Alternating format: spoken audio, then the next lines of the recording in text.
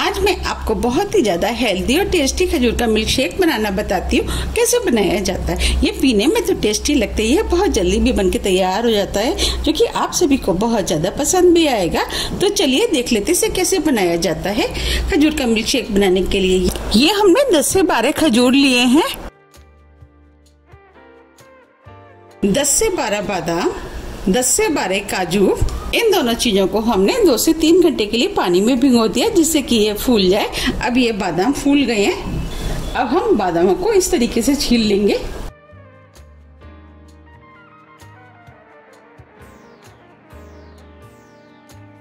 ये जो हमने खजूर लिए हैं इनको इस तरीके से बीच में काटते हुए इसके अंदर जो बीज होता है उसे हम निकाल देंगे।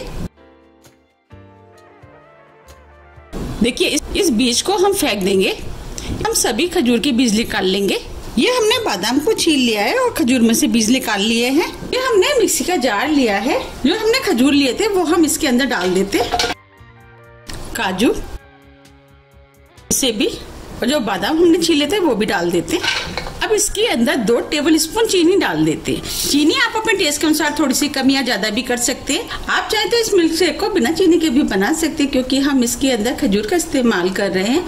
खजूर भी मीठे होते हैं। अगर आप नेचुरल मिठास के साथ बनाना चाहते हैं तो आप इसे बिना चीनी के भी बना सकते हैं। ये हमने एक कप बिल्कुल ठंडा दूध लिया है।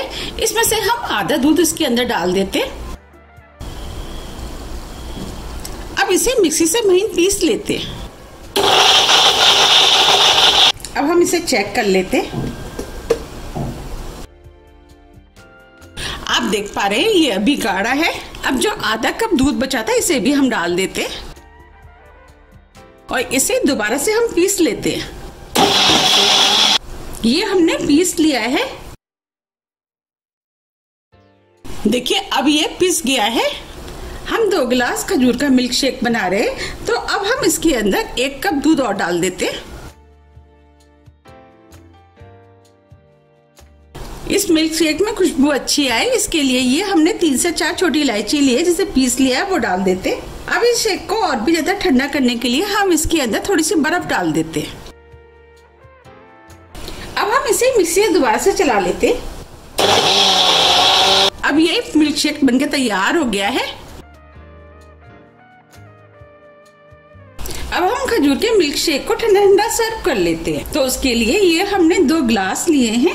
ये हमने एक टीस्पून सज्जा के बीज लिए जिसे हमने 10 मिनट के लिए पानी में भिगो दिया। अब ये बीज फूल गए हैं। देखिए, अब दो चम्मच सज्जा की सीट हम ग्लास में डाल देते हैं। इससे ये शेक पीने में तो टेस्टी लगेगा और हेल्थ के लिए भी ये बहुत ही ज़्यादा फ़ायदेमंद होते हैं, क्योंकि ये गर्मियों में हमारे शरीर को ठंडक देते हैं।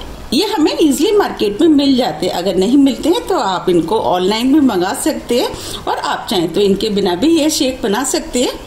अब जो शेक बनाया था, वो हम इसके अंदर डाल देते हैं। आप देख पा रहे कितने बढ़िया खजूर का मिल्क शेक बनके तैयार हुआ है।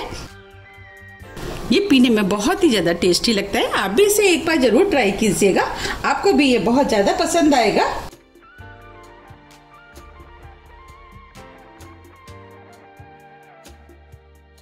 आप चाहे तो इसके ऊपर आइसक्रीम भी डाल सकते हैं। अब हम इसे मिक्स कर देते आप इसे गर्मियों में ठंडा ठंडा पिए। ये हमारी हेल्थ के लिए बहुत ही ज़्यादा फ़ायदेमंद होता है, क्योंकि ये हमारी बॉडी को तुरंत ही एनर्जी देता है। जैसे गर्मियों में आप बाहर से आ रहे हैं, आप इसे बना करके फ्रीज में रख दे और जब भी आप आए तो इसे ठंडा ठंडा पी सकते हैं। जैसे कि बच्चे थके हुए स्कूल से आते हैं तो आप उनको भी पिला सकते हैं। उनको भी ये बहुत ज़्यादा पसंद आएगा। अब इसके ऊपर थोड़े से हम पिस्ते डाल देते जिससे ये देखने में और भी ज़्यादा सुंदर लगेगा।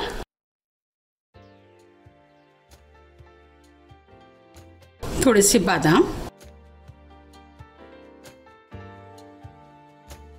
अगर आपको मेरी रेसिपी पसंद आ रही है तो रेसिपी को लाइक कर दीजिएगा और ज़्यादा से ज़्यादा फ्रेंड और फैमिली के साथ शेयर भी कर दीजिएगा। अब हम इसके ऊपर थोड़े से खजूर डाल देते हैं, जिसे हमने छोटे पीस में काट लिया है। आप देख पा रहे हैं, ये मिल्क शेक देखने में कितना सुंदर लग रहा है। और ये पीने में भी बहुत ही ज़्यादा टेस्टी लगता है।